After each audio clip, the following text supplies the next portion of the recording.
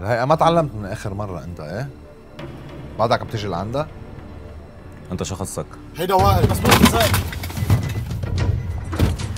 سيدنا في مشكل قدام شركة فراس وفي شرطي منصاب حبيبي ما صار شيء وائل قوس ويلي معه انصاب وهربوا والشرطة هلأ هون ما تعتلي هم أنتوا أصلا شو عم تعملوا هون؟ في افهم؟